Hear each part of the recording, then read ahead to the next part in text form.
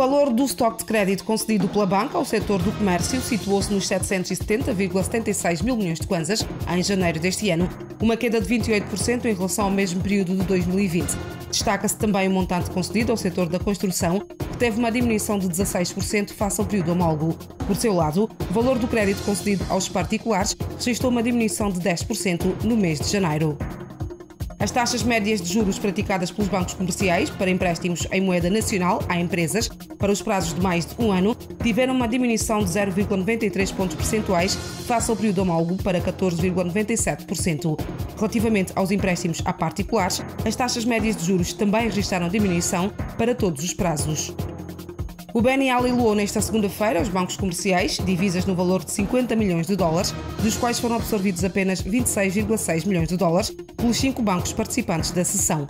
O câmbio médio ponderado no final da sessão atingiu os 624,595 kwanzas por dólar, inferior ao câmbio de referência que vigorou até o fecho de sexta-feira da semana passada, 624,941 kwanzas por dólar. O montante negociado nesta terça-feira no mercado secundário de títulos, Bodiva, atingiu cerca de 3,9 mil milhões de kwanzas, um aumento em cerca de 1,8 mil milhões de kwanzas em relação à sessão anterior. Do valor total negociado, 74% corresponderam a obrigações do Tesouro indexadas à taxa de câmbio e os restantes 26% advieram de obrigações do Tesouro não reajustáveis. Quanto aos membros de negociação, o Banco de Fomento Angola deteve 34% do volume transacionado, seguido pelo Banco Milênio Atlântico, que ficou com 18%. A Unidade de Gestão de Dívida do Ministério das Finanças emitiu títulos no mercado primário no valor de 18,5 mil milhões de kwanzas, menos 88 mil milhões em relação à sessão anterior. O valor emitido correspondeu a 16% da oferta. A maior parte dos títulos emitidos correspondeu à colocação de bilhetes do Tesouro, maioritariamente com maturidade de 91 dias e com taxa de juros de 19,38%. O BNA leiloou nesta quarta-feira os bancos comerciais 50 milhões de dólares, dos quais foram comprados cerca de 33,2 milhões de dólares, superior aos 28,1 milhões de dólares do leilão do dia anterior.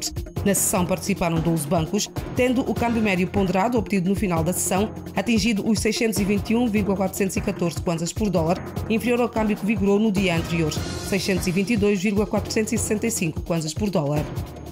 A taxa de câmbio média de Kwanza registrou variações, situando-se nos 619,414 para o dólar e nos 744,938 para o euro.